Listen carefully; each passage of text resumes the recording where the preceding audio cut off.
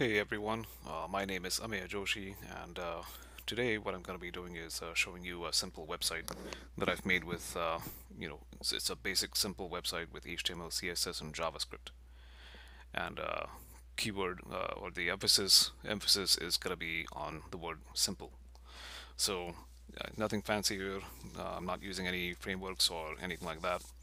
But you know, this is just the the premise of this video is uh, know, it's geared towards those of you who are you know just starting out in front-end development and uh, you know you're just trying to get started. You're looking at you're getting at getting into the basics of HTML CSS and JavaScript.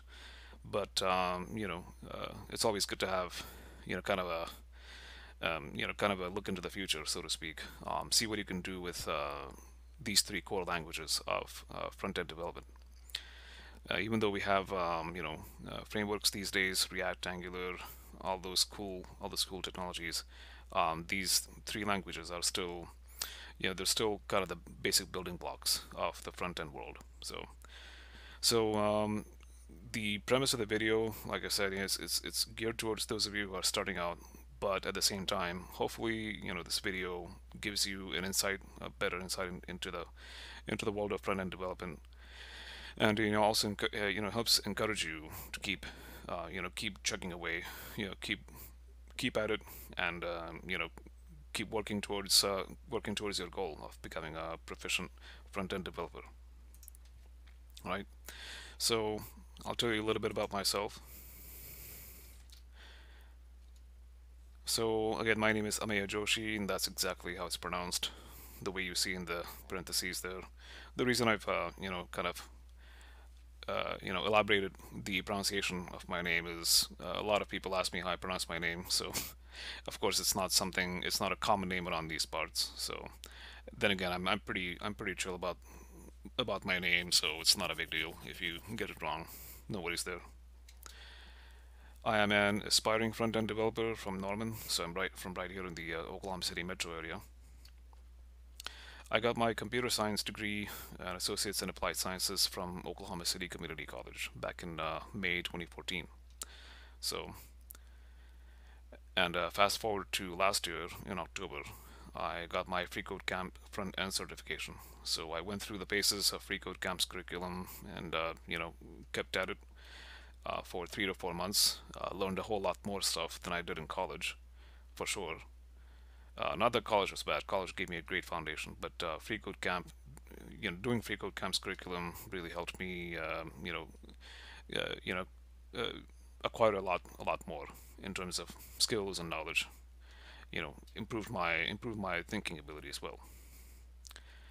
And uh, so yeah, if you uh, if you're familiar with Techlahoma Slack, my handle is at coderaj7470. Uh, the uh, 7470 part of it will become pretty apparent here in, in just a bit. Um, so um, yeah, I'll, I'll, i can tell you right off the bat, the uh, uh, I'm a pretty uh, pretty avid aviation enthusiast. Uh, aviation is one of my big hobbies. So um, uh, the 7470 part, um, I'll tell you, is, is part of a it's part of the tail number, registration number of the very first 747. So um, yeah, you'll see exactly how big my hobby is in just a bit here. But anyway, um, just a little bit, uh, you know, some discussion discussion points here or disclaimers. So you know, this video is a work in progress in and of itself. Um, you know, I'm not. Uh, I'm not a shy person, but uh, I'm not gonna jump and grab the opportunity to speak in in public or otherwise. Uh, those of uh, those people who have met me will uh, definitely know what I'm talking about there. But um, anyway, this is my first video ever where I'm doing any talking uh, about anything at all. So um, obviously, you know, there might be points. Uh, you know, I'll try not to sound like a noob in this video, but there might be points where I sound a little amateurish. So uh, that being said, I appreciate your feedback and constructive criticism. Leave me a comment in the Twitch comment section, or you can, you know, you can uh, Slack, uh, you know, send me a message on Slack. Again, my handle is at coderaj7470. And uh, yeah, I'm somewhere between, as far as my personal skill level, uh, you know, just to, if I'm accurately assessing myself, I'm somewhere between entry and mid-level when it comes to front-end development. So I'm definitely not uh, pure entry level. I'm definitely past that stage, but um, I'm not quite. I haven't quite reached the mid-level. So I, you could probably say I'm a junior at the moment. So yeah, yeah. Usually, um, I'm not. I'm not the one who grabs the the microphone and starts talking. Usually, I'm behind, hiding behind my computer screen, doing coding or playing games or browsing the net. So, but yeah. That being said, you know, uh, I'm looking at, at this as an opportunity for learning something new. So let's take a quick look. I'll show you the uh, website I'm talking about. So yeah, here you go. Um, uh, so obviously, you know, like I said, simple website. You have a banner here with uh, H with an H1 heading, um, and then uh, a very simple navigation bar. Yeah. So seasoned developers will look at this and uh, you know some of them some of them will probably uh, take a look at this page here and start um, you know noticing some stuff which needs improvement. So yeah obviously uh, yeah by all means uh, you can give me feedback on this website as well uh, if you wish. Uh, it's definitely like I said it's definitely not the best example out there um, but you know for a basic basic website I guess it does the job so I'm not going to go too too much in depth um, in the website's content. Um, I really want to you know focus more on the uh, behind the scenes stuff, the code of the website. But uh, I'll just give you, give you a quick rundown. So the website it's uh, you know it's it's uh, showcasing it's advertising my add-ons and uh, you know a little bit about the um, a little about the YS Flight Simulator for which I made the add-ons. So this flight simulator has been out for a while. It's a freeware flight sim uh, made by just one guy, Dr. Soji Yamakawa, who's a professor at Carnegie Mellon University. And uh, so yeah, um, I've I made some add-ons, uh, started making maps, uh, add-on maps uh, for the uh, for the game back in 2012.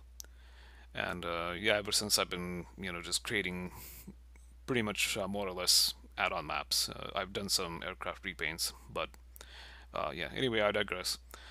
So um, yeah anything everything you see here is pretty much you know rendered by HTML uh, CSS and JavaScript. Even this even this little thing here this table this is a table style with CSS and um, so this this page basically since it's the home page I've I decided to you know put this put this uh, you know table here which is styled to um, you know to represent a uh, if, if you've seen those um, if you've seen those uh, analog flight information display boards you know you used to see them everywhere in uh, airports back in the day. Uh, Frankfurt airport still has an analog analog flight information display board. And what I mean by analog is you know those letters that used to flip uh, you know from the, there would be all these letters from A to Z and they would flip you know uh, flip letters and flip numbers, and they would uh, someone someone in the background would you know be operating operating these boards, and they would spell out the destination um, or origin and uh, give you flight information, you know, arrivals and departures and all that kind of stuff. And they had the, you know, they had green lights, flashing green lights, indicating the status of the flight. Well, I've taken the same idea and uh, tried to adapt it to this uh, website. That's basically what's, basically what's going on here. So, um, yeah, so that's the home page. Uh, let's move on to the next one here, the maps uh, or the uh, add-ons page here. So you can see, um, you know, immediately, immediately your uh, attention's drawn to this uh, heading here, the maps heading, heading level one, and I have a level two heading here, a level three heading, so on and so forth. And um, yeah, each page, th this is the comment section, right? The banner and the uh, nav bar. So um, I have some image slide, sliding image galleries, you know, um, where the user can, you know, cycle through some images, some screenshots that I've taken from my maps. Same thing going on here, and, and you know, these are bi-directional, so you can scroll either way. And then I have some, uh, you know, some image collages for my aircraft repaint. So this is um, this page basically shows the visitor, you know, what I've done. excuse me, what I've done as far as uh, you know my add-ons and you know if they like what they see they can they can download the stuff and and uh, you know play it in the in the sim use it in the sim so I'm gonna go over the code for these I don't have enough I don't have too much time right now I'm gonna keep this video fairly short around 30 minutes or so but I'm gonna go over the code of these uh, you know first two pages in here in just a bit and then I'll show you some of the CSS and uh, JavaScript behind uh, you know, behind the um, uh, behind the, the inner workings, so to speak, behind the workings of, say, for example, these flashing lights. You know, how I how I got those to work. And then the rest of the site is it's pretty simple. It's a fairly simple website from this point on. Um, but yeah, just you know, I've given the user, I've given the uh, visitor that is enough information uh, to where they can just scroll through the through the pages, browse the website, you know, and uh, get enough uh, get enough information. Uh, here's a modification policy. Uh, this is the uh, works in progress page. Again, this is CSS at work, along with HTML. Uh, so the um, so this is a color code for these are just work items which I've styled as you know list items in an unordered list, UL. So and then I gave these uh, slightly these with slightly different bullet points from the usual circles that you can see. And then, uh, you know, of course, I, I made the color code intuitive, so red is bad, obviously, usually. Um, so it's not started. Orange means in progress, and completed is in green. So completed list items are in green. Com in green is good, yeah. Green is good, so. And then I have these um, other work items here. By the way, these names, you know, uh, my maps are fictional, so I try to stay away from real world names in keeping with the fictional theme. So the the names are obviously they don't they they're fictional as well. They don't mean much, so don't pay attention to those. And then I have this uh, real simple, you know, tools page stuff that I've created for the uh, YS Flight Sim. You know, anything that helps like uh, map map making documentation or um, a collection of various elements that I've made, so on and so forth. And then I have these, uh, they have this links page where I've listed a whole bunch of pages that, um, you know, I feel are really cool, uh, which have, uh, oh, you know, a lot of modders, a lot of, uh, a lot of people who play the games, sorry, a lot of people who played this game, um, you know, they, they would agree that a lot of these are really cool add-ons and add-on websites. So and you know, when it comes to a whole bunch of text on on uh, web pages, uh, I've realized there are two camps: people who read all this and people who don't. And uh, nothing wrong about that. Um, but I fall into the camp of people who do, and uh, that's a very, very small camp. Uh, most people will, yeah, most people will find this really boring. So that's why I've given the links, right? I've given the links to the various websites here. And then uh, last page here in the website is just a little bit about myself, you know, who I am, and and uh, you know, uh, my username is Turbofan on this forum, and of course, uh, Turbofan is of course a jet engine. So yeah, real, real original. Yeah. Anyway, um, so that's the website, but um, let's take a quick. Uh, I'll take a quick, real quick uh, few seconds here, um, and then uh, we'll get to the code behind the website. So we'll meet you back right here. Okay, so here we go, folks. Uh, yeah, this is the um, uh, this is the index page code for the. Yeah, I just uh, showed you the website. So this is the code behind the index page. So you can see here. Uh, by the way, this is Visual Studio Code, a really cool um, code editor, which you can use for a lot of different languages. Um, so, but yeah, this is um, you know this is the uh, usual the usual uh, HTML5 web page document. You got the doc type declaration, the HTML tag here, the the head section and the body section. And um, so because of uh, I'm running just a tad short on time here, so what I'm going to do is show you some you know kind of the more interesting uh, uh, part here, the more interesting part of the of the page. And so I'm going to show you how I got these green lights to work right?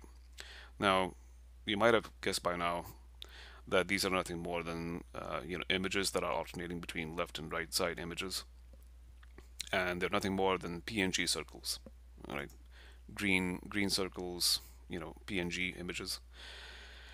Um, and uh, each circle um, you know because I did this in Microsoft Paint each circle has a it had a white space which I just colored you know with the same you know black or dark gray you could call it color that the table has. So uh, you know kind of blends in and just shows the circle part not the otherwise it would look odd uh, with a you know a circle and a and a white square in the background. You don't want that. So anyway that's what I that's how I uh, you know incorporated that into the uh, into the uh, table. So for the products that uh, have these status indicators uh, you know how am I actually how am actually you know getting this to work. How is the browser rendering this uh, every second? So let's take a look at that. So uh, before I proceed with showing you the code um, I want to quickly uh, go over uh, this is again for those of you who are new to web development uh, the concept of the document object model and the DOM tree. So the document object model is essentially you know essentially it's essentially it's um, uh, a model on which the on which all browser you know all web pages are rendered. Um, um, so it essentially states you know uh, how how a web page is rendered and how the browser will show you the web page. Um, and the DOM itself has a tree the DOM tree which uh, you know has uh, the DOM tree itself has a bunch of nodes N-O-D-E-S nodes and because uh, of the concept of nodes nodes make it uh, very it make it, they make it very easy to just go in and change you know dy dynamically change using JavaScript uh, to change uh, text or you know for example uh, inside this paragraph tag the paragraph tags or this paragraph tag here is a node. The text inside it is a node as well. All right because the text is a node I can use the inner HTML property once it's rendered in the browser, if I want to change any of the text, I can use the inner HTML property to change the text inside. So essentially that's what nodes are. All these tags here, the text inside, that's a node. The table cells, they're a node, uh, you know, so on and so forth. So, um, yeah, so let's get, let's get, let's get right to it. How did I, you know, for these images that I'm that I'm importing from my icons directory, how do I uh, actually get that to work? You know, alternate between the left and right side um, circles. Well, because of nodes, uh, it becomes fairly easy to kind of work with, right? So you have this. What am I doing here is so I'm saying document.get elements by class name. I'm passing in the class name left green light, right? So the the code is basically saying, okay, all the all the uh, elements here on this page that have class of left green light, um, you know, target all of those elements and then get elements by class name essentially returns an array of nodes for all the images that, or sorry, all the tags that have a class of left green light. Same thing is going on here with the class name, you know, all the all the uh, tags that have right green light as a class name, I'm returning an array. So I have these two arrays essentially, right? Nodes left and nodes right. And initially what I'm doing here is um, I'm setting both um, both Im image uh, tags that have the class of left green light and right green light. I'm setting them to uh, visibility of hidden, so they don't appear initially when you know before the uh, web page finishes loading they will nothing will appear in that table cell. All right. Now I have, I have this one here this variable light on equals false. That's a boolean of course. All right. And by the way let is an ES6 syntax uh, ES6 JavaScript. Uh, ES5 was var. All right. So that's the way you declare that's the way you declared uh, an, a variable in ES5 as var. Uh, let is ES6 syntax. All right, just just some clarification there. So, okay, so I have these two statements, this boolean here. What am I? What's the next step? Then, okay, so I need a function which will handle the the actual alternate alternation between left and right side green lights. So I have this function called start green flashing lights. And because these are arrays, right, all I need to do is uh, loop through each array and at all at one time, excuse me, I have some hay fever or something. uh, because I have these arrays, all I need to do is loop through each array just using a regular for loop, um, access each index, each array's index. And what this is, uh, this statement here and this statement here, these are both uh, ternary statements or conditional statements. All right. So essentially, what's what are these statements? Well, everything to the left of the question mark, everything on this side, is going to result to a true or false. And based on that, if this is true, then I have these, you know, it's going to be either this or this. Okay, so if it's if this is true, if that results to a true value, the resultant value is going to be this visible. If it's false, it's going to be this hidden. All right. So it's true if this is if this is true, if this is false. Sorry, uh, uh, say that again. If this is true, then the value, the resultant value assigned to visibility is visible. If this is false, the resultant value is going to be hidden. That's assigned to the visibility uh, attribute, CSS, CSS attribute. And look what I've done here is I've just basically reversed the order. All right, so first uh, value, so in this case, if this is true, the you know the the values that got to be assigned is going to be hidden. If this is false, it's going to be visible. All right. Now notice that notice this because um, because of the way I've declared this initially, light on equals false. I would expect this to these lights, you know, these nodes with the uh, class name bright green light to appear first when the browser finishes loading. You know, the very first time that you visit the index page. Yeah. So if I refresh this page, I'm going to refresh this page now, see what happens you see you see what happened all the right side green lights appeared first followed by the left side green lights and then they keep alternating all right and uh, this statement here so this like this basically acts like a a switch all right so essentially what I'm saying is after this code renders so so let's refresh the page again all right so all the right side green lights show up first right? So this code is saying show all green lights first and keep the left side green lights uh, hidden all right right because initially false right so this is false which means this the left side green lights are hidden the right side green lights become visible so this code this for loop renders does its stuff and then uh, the code comes down here to line 38 saying okay light on is exactly the opposite the exclamation mark light on basically means the opposite assign basically flip light on. Uh, you know, don't do, do a 180. So light on's value becomes true. Okay, so now it, um, so now what I'm, what was going on is uh, this function show status lights is calling set interval and set interval is a JavaScript function. All right, so it's going to call start green flashing. I don't want to move that. Let's try it again. Yeah, start green flashing lights and this is in milliseconds, 1000 milliseconds. So every second, this function show status lights is going to call this, which in turn is called, which in turn calls this, start green flashing lights, and that's going to be called every second. All right.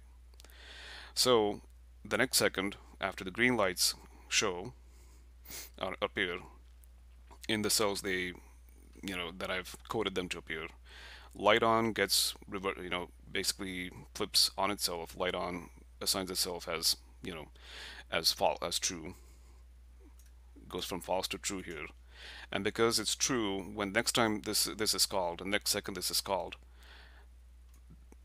this evaluates to true that evaluates to true. But because I both because I've you know reversed the order here because this is true remember what I said the left side um, value to the left of this colon is the resultant value and this is the resultant value here for the right side green lights. So the left green lights show, the right side green lights disappear, and every second, you know, this code is called these lights keep alternating. All right, so hopefully that made sense, and I didn't, I didn't sound like a confused, uh, confused bumbler or something. So uh, yeah, essentially that's that's all what all this code is doing. Uh, sets up, you know, sets up the arrays, loops through the arrays, makes them visible or not visible every second uh, via this switch. You, you, know, you can call this a switch. And uh, one other last piece of code here that uh, you need that I actually I needed at least I needed to for this to work is this add event listener here. So whenever you say window.add event listener, once the window uh, you know, once the window, the browser finishes loading, um, so the event listener is load, yeah. Once it finishes loading, it's going to call show status lights. And again, like I said, show status lights calls this set interval, and set interval is set to run every second because I have thousand. The second argument here is in milliseconds. Thousand milliseconds is one second, and every second start green flashing lights is being called and it does this thing, right? So yeah, that's basically it. Um, so um, uh, taking a look at uh, at something else here.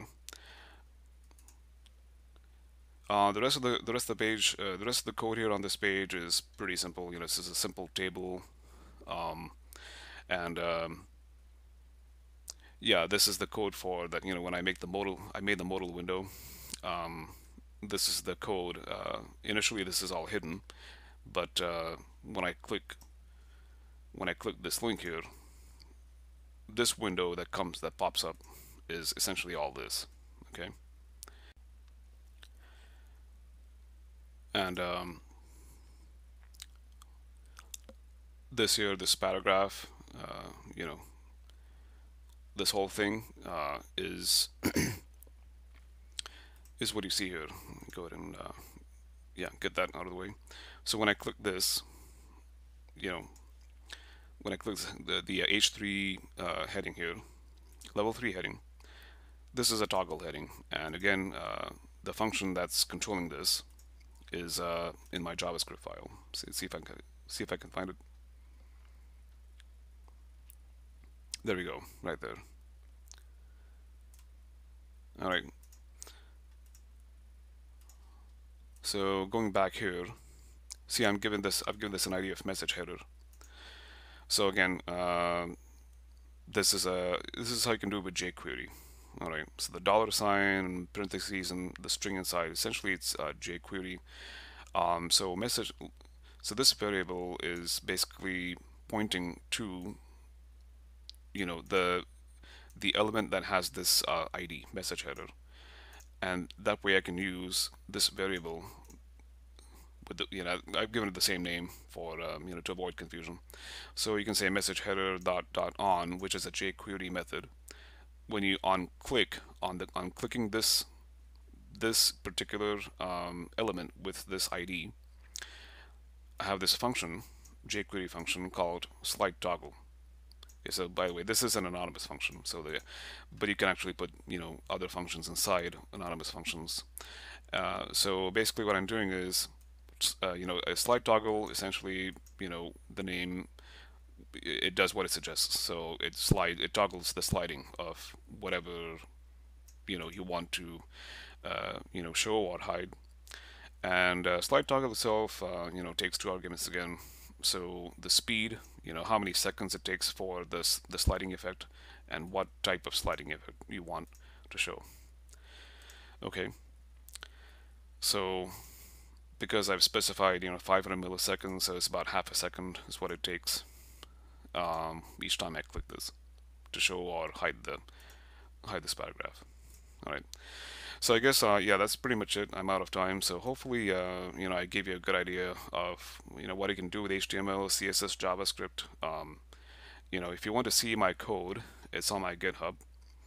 Uh, again, my GitHub uh, is, uh, you know, coder AJ7470. And um, yeah, that essentially wraps things up here. Uh, I pretty sure I'm officially out of time. So, um, like I said, you know, this video was uh, essentially uh, it's kind of an experiment in the in the works. So whatever uh, feedback you have, I'd be very happy to to hear it uh, or uh, read it. Like I said, you know, if you if you're on Slack, Techlahoma Slack, my handle is at coderaj7470. You can uh, send me a you can direct me direct message me there, or you can just leave a comment in the tweet section. So um, yeah, thanks everyone for joining. If you could make it, uh, if you could you could uh, come come and watch this video. Um, and uh, I guess uh, uh, hopefully we'll you know with subsequent videos if we do make them we'll you know we'll definitely try to improve on on this first one. All right. Thanks again. You have you guys have a great rest of the weekend.